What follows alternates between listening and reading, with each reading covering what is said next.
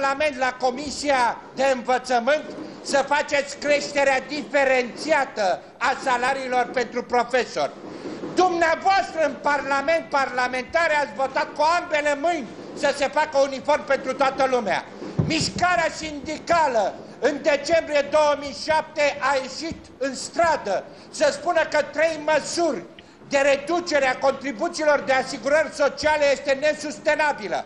Creșterea valorii punctului pe care o susținea și mișcarea sindicală, dar reducerea contribuțiilor la angajatori și mutarea a două puncte procentuale de la CAS către uh, sistemul pilonului 2 de pensii este nesustenabil.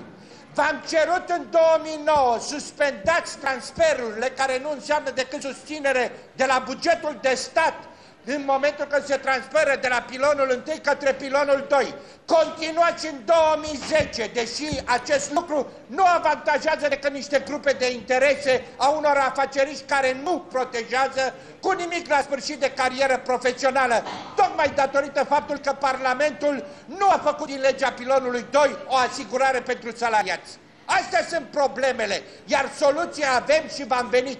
Împreună cu patronatele în ianuarie-februarie 2009 am făcut 439 de măsuri care trebuiau pe diferite termene să fie aplicate.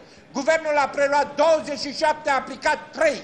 Asta este problema, că nu se dorește. Se dorește altceva și de obicei sunt futurile pentru grupele de interese pe care le reprezintă.